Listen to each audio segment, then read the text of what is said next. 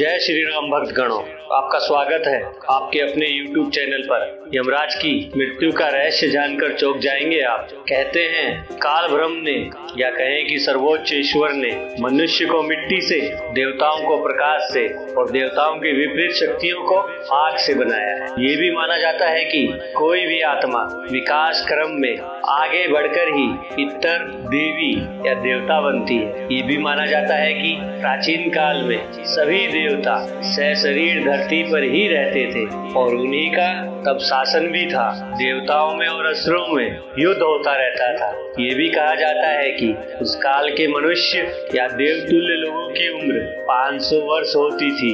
ये जानने के बाद अब हम जानते हैं कि मृत्यु के देवता यमराज की मृत्यु कैसे हुई।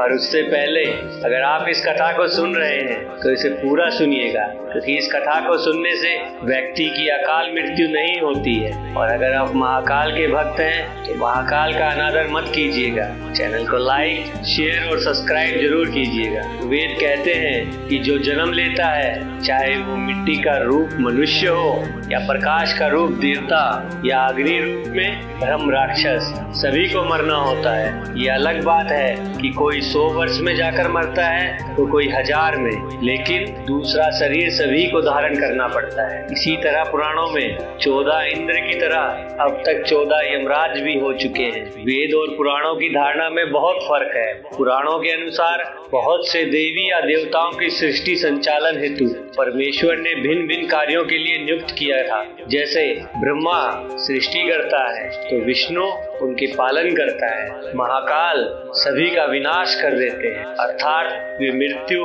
और प्रलय के देवता है। हिंदू मानते हैं कि ब्रह्मा हमें इस सृष्टि में लाने वाले हैं, विष्णु हमें पालने वाले हैं और शिव ले जाने वाले हैं। इसी तरह इंद्र, बारिश, बिजली और युद्ध को संचालित करते हैं। अग्नि सभी आहुति को ले जाने वाले देवता है। सूर्य देव समस्त जगत को प्रकाश देते हैं। समस्त प्राणियों को जीवन दान देते हैं। पवन देव के अधीन रहती है जगत की समस्त वायु।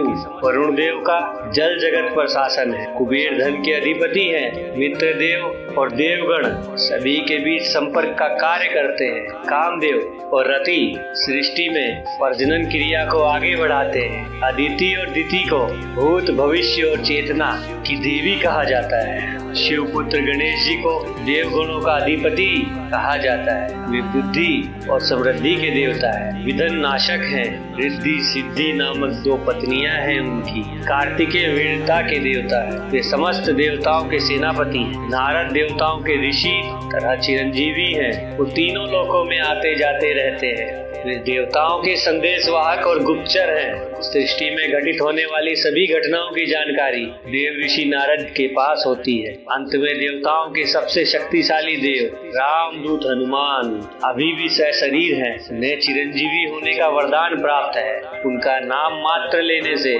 सभी तरह की बुरी शक्तियाँ और संकट खत्म हो जाते हैं। इसी तरह यमराज सृष्टि में मृत्यु के देवता है। सृष्टि के प्राणियों के भौतिक शरीर के नष्ट हो जाने के बाद उनकी आत्माओं को उचित स्थान पर पहुंचाना उन्हीं का काम है। चित्रगुप्त संसार के लेखा जोखा रखते हैं और यमराज स्वर्ग तथा नरक के बीच का तालमेल बनाते हैं। अब सवाल उठता है कि मृत्यु के देवता यमराज की कैसे मृत्यु हो सकती है? तो आप जानते हैं इस संबंध में भिन्न भिन्न वर्णन मिलते हैं। कहा जाता है कि प्राचीन काल में शिव भक्त राजा श्वेत राज करते थे। वृद्ध होने पर राजा श्वेत पुत्र को राज सौंप कर गोदावरी नदी के तट पर एक गुफा में शिवलिंग स्थापित कर शिव की आराधना में लग गए। अब वे राजा श्वेत से महामुनि श्वेत बन गए। एक निर्जन गुफा में मुनि ने शिव भक्ति का प्रकाश फैलाया था। ऋषि मुनि को न कोई रोग था और न कोई शोक था। इसलिए उनकी आयु पूरी हो चुकी है। इसका आभास भी उन्हें नहीं हुआ।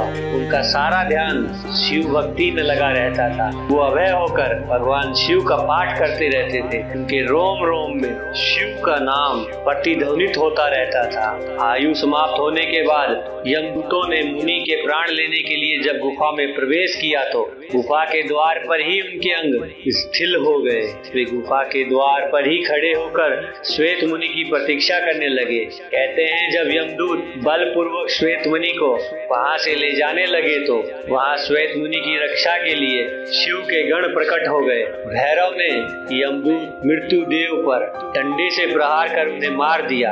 इधर जब मृत्यु का समय निकलने लगा तो चित्रगुप्त ने यमराज से पूछा, श्वेत, अब तक यहाँ क्यों नहीं आया।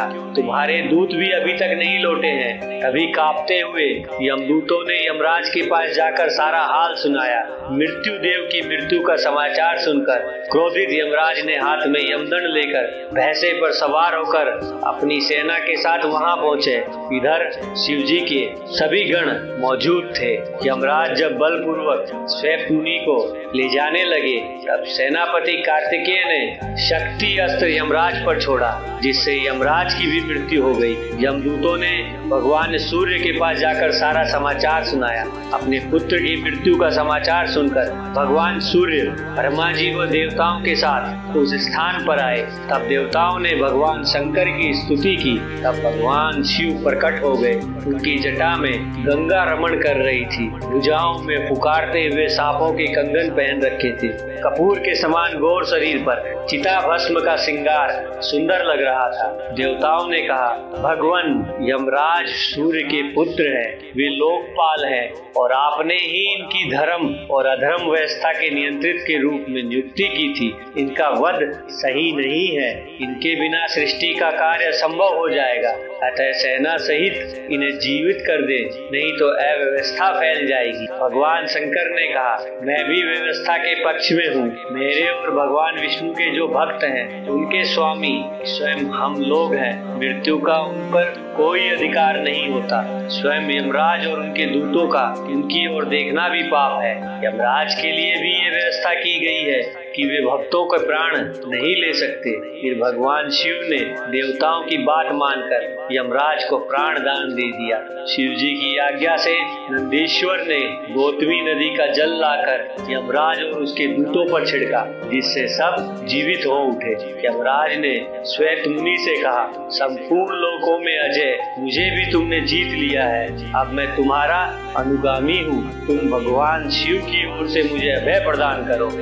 ऋषि मुनि ने यमराज से कहा, भक्त तो विनम्रता की मुक्ति होते हैं। आपके भय से ही सत्य पुरुष परमात्मा की शरण लेते हैं। प्रश्न होकर यमराज अपने लोक को चले गए। शिव जी ने श्वेत मुनि की पीठ पर अपना वर्द हस्त्र रखते हुए कहा, आपकी लिंगोपासना धन्य है, श्वेत। विश्राम की विजय तो होती ही है। ऋषि चले गए। ये स्थान गौतमी के तट पर मृत्युंजय तीर्थ कहलाता है। मृत्यु को कोई जीत नहीं सकता। स्वयं ब्रह्मा भी चतुर्युगी के अंत में मृत्यु के द्वारा परम भ्रम में लीन हो जाते हैं। लेकिन भगवान शिव ने अनेक बार मृत्यु को पराजित किया है। इसलिए वे मृत्युंजय है और काल के भी काल, महाकाल कहलाते हैं। अगर ये वीडियो आपको अच्छी लगी हो और आप महाकाल के सच्चे भक्त हो, चैनल को लाइक, शेयर और सब्सक्राइब करना ना भूलें। जय श्री राम।